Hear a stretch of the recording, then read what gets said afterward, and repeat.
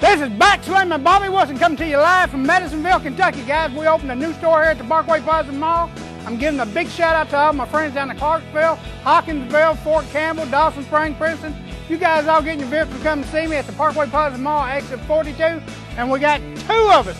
We got the original Bobby Wilson standing behind me and this Bobby Wilson, and we got three locations, two in Owensboro and now here in Madisonville at the Parkway Plaza Mall at the exit 42.